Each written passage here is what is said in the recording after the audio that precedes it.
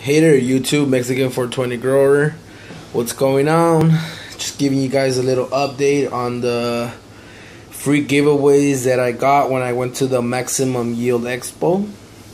And they hooked me up. And also, I want to ask if anybody has ever grown with earth juice, hybrids. Um, I'm just curious about it. I want to see if anybody else has grown with this, you know, so I'll give it a little try. Um, I also got some Transition by Sugar Peak by Earth Juice also. I also have some Elements also from Earth Juice Grow 1600. I don't know about that NPK. Um, also, I got hooked up with um, Thunder Nutrients. I don't know if anybody has grown with these.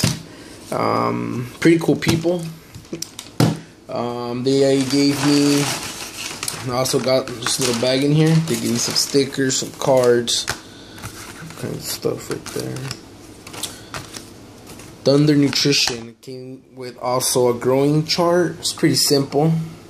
Has anybody grown with that? Also, let me know. Leave, leave a message. I mean a comment. Sorry about that.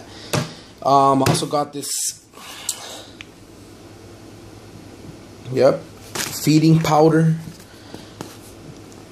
Um, I've never tried this. I, I don't know. I don't know if anybody has tried growing with this. Let me know. Um, they're actually by Grand Grand House, something like that. Feeding. Um, I also got some roots professional formula by Golden Liquid.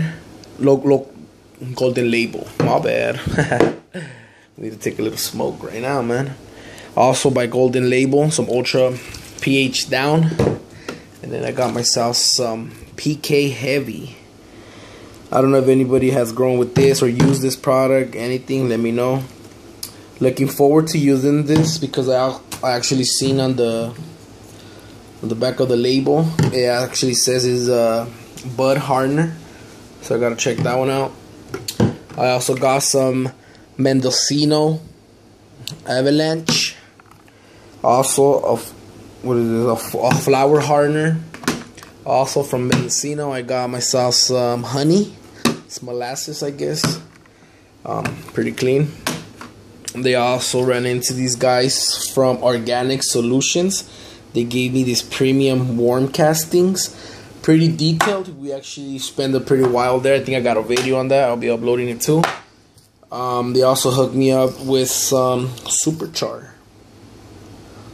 You know, it was a pretty decent expo. They actually had a lot of giveaways. Um, a lot of different stuff, lights. I mean, you know, you name it, growing, anything. Got a lot of stickers. Also, I put them on my where I keep my notes on my growing.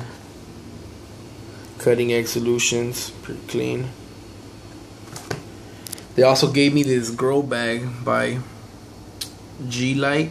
It's actually a five gallon. I actually got another one that's a two gallon. Pretty decent. I put the other one to use already. Is anybody else grown with any of these products? Let me know. Leave a comment. If you like anything on this video, please like, please subscribe. Other than that, I'll catch you on my next grow.